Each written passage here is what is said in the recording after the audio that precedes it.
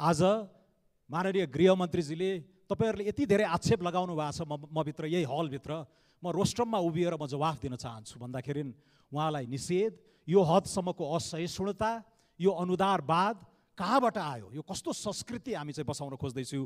यो असाध्यै चिन्ताजनक छ।